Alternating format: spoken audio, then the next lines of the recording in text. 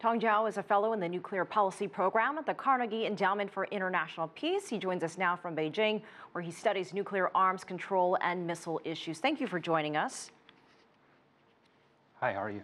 Let's begin with the ROK's president's visit to the United States this week. Uh, a lot of disagreement in how to handle the DPRK, but do you think he could bring Donald Trump around to see his viewpoint? Well, uh, South Korea and the United States, they do agree on a number of issues. They do want to denuclearize North Korea, but they disagree on one important matter, which is what's the precondition for negotiating with North Korea. They both understand that ultimately the international community has to talk with North Korea to settle the dispute. The U.S. position is for talking with North Korea, North Korea has to first show signs of willing to control its nuclear program. But South Korea, China, and Russia, they want to have a negotiation with North Korea as soon as possible without much preconditions. The point right now is North Korea is willing to have a moratorium on its nuclear and missile tests. But the issue for the United States is it has not really had a good idea about what small compromise that Washington is willing to offer in return for the small North Korean compromise.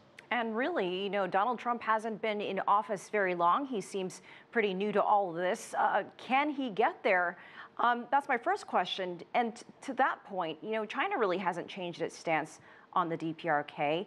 Um, do you think the new ROK president, Moon Jae-in, has uh, has a more diplomatic outlook? Do you think we could see China and the ROK work closer together and make a difference themselves?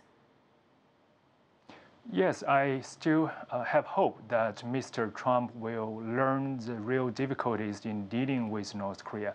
So far, he seems to have the illusion that more economic sanctions will do the work.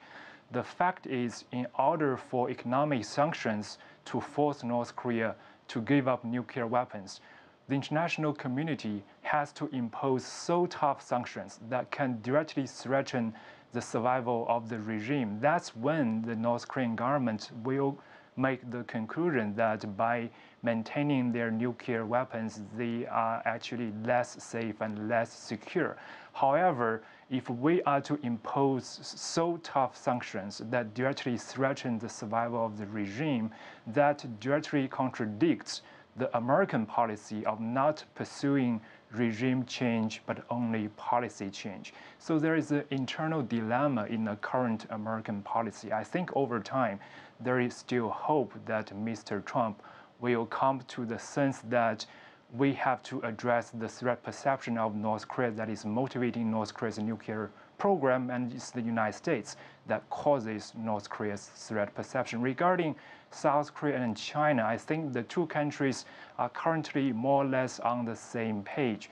Both countries believe that we have to contain the current tensions to avoid the tensions from further escalating.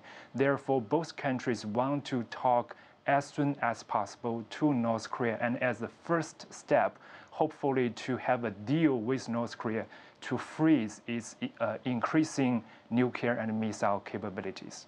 And President Moon says for now he will keep THAAD on the Korean Peninsula. But if he does or happens to change his mind, could that make a difference in getting uh, the DPRK to the table as well as maybe those military exercises? I think uh, President Moon uh, made a decision to suspend the complete deployment of the THAAD system uh, as a basic strategy of buying time because this suspension strategy doesn't really uh, satisfy the uh, requirements of either China or the United States. China wants to see the complete uh, cancel cancellation of the deployment while the United States wants the deployment in place as soon as possible. The hope, I think, is given the strategic uh, environmental assessment of the THAAD system might take one to two years to complete, then all the international uh, uh, players in the region can use this very precious time of one to two years to work very hard on North Korea.